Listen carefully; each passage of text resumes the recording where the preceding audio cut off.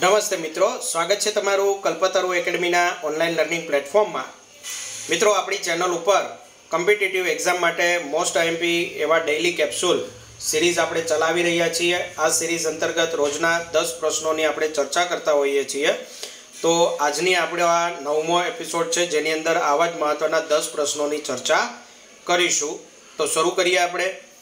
ભારતમાં સુશાસન દિવસ તરીકે કયો દિવસ ઉજવાય છે? તો ભારતની અંદર સુશાસન દિવસ તરીકે પચીસ ડિસેમ્બર, જે આપણા પૂર્વ વડાપ્રધાન અટલ બિહારી વાજપેયી એમનો જન્મદિવસ છે, તો એને સુશાસન દિવસ તરીકે ઉજવવામાં આવે છે. ગુડ ગવર્નન્સ ડે તરીકે પણ એ ઓળખાય છે.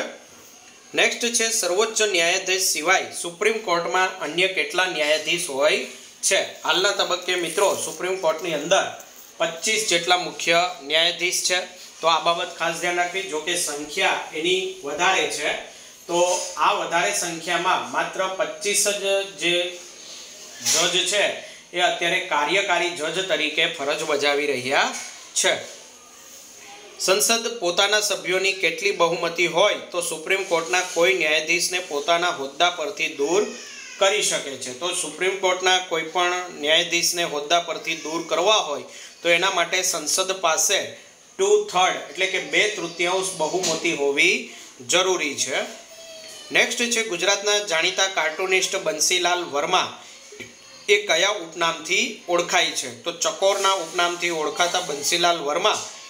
એમણે જે ન્યૂઝપેપરો છે, સમાચાર પત્રો, એમની અંદર કાર્ટૂનો બનાવવાની શરૂઆત કરેલી હતી અને એમના આ કાર્ટૂન જે તે સમયે ખૂબ જ પ્રચલિત થયા હતા. ખાસ કરીને જે આર્થિક વ્યવસ્થા વગેરે છે, મોંઘવારી વગેરે, એને સચોટ રીતે એ નિદર્શન કરતા હતા. નેક્સ્ટ છે, સસ્તું સાહિત્યના સ્થાપક. નીચેનામાંથી કોણ છે?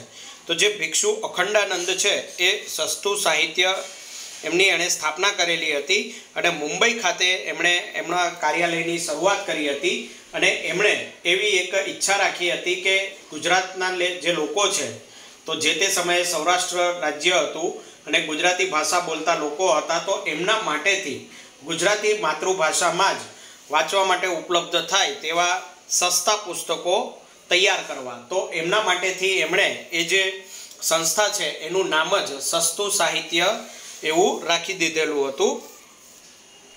નેક્સ્ટ છે બાપુના પારણા. એ કાવ્ય સંગ્રહ. ગાંધીજી કાવ્ય વિષય કાવ્યોનો છે. એ કોણે લખ્યો છે? તો બાપુના પારણા એ ઝવેરચંદ મેઘાણીના હાથે લખાયેલો કાવ્ય સંગ્રહ છે.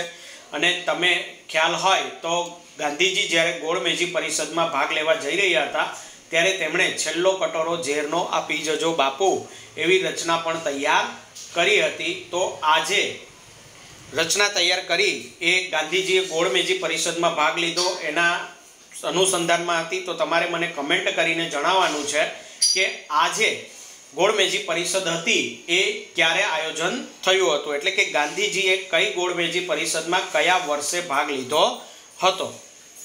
નેક્સ્ટ છે નેશનલ ડેરી ડેવલપમેન્ટ બોર્ડ એનું વડુ મથક ક્યાં આવેલું છે? તો નેશનલ ડેરી ડેવલપમેન્ટ બોર્ડ એનડીડીબીનું વડુ મથક આણંદ ખાતે આવેલું છે. જે અમૂલ ડેરીની જગ્યા છે. ત્યાં જ આ એનડીડીબીનું વડુ મથક પણ આવેલું છે.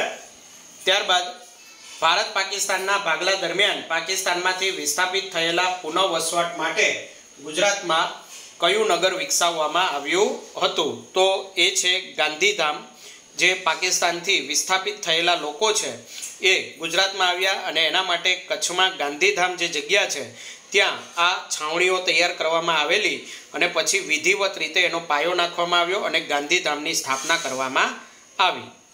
નેક્સ્ટ છે કેળવણીકાર નાનાભાઈ ભટ્ટે સ્થાપેલી લોકભારતી સણોસરા સંસ્થા. કયા જિલ્લામાં આવેલી છે? તો લોકભારતી સણોસરા એ ભાવનગર જિલ્લામાં આવેલી છે અને અહીં વિદ્યાર્થીઓને જીવનલક્ષી મૂલ્યોનું શિક્ષણ આપવામાં આવે છે એટલે કે ખેતીવાડી વગેરે જેવા જે વ્યવસાયો છે, એમનું પણ અહીં શિક્ષણ આપવામાં આવે છે.